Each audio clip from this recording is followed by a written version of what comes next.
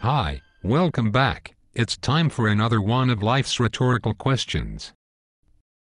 Why are the needles used for lethal injection sterilized?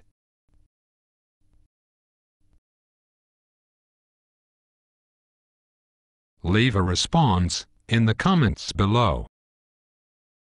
If you too wonder about things like this, click the like button and thumb up this animation.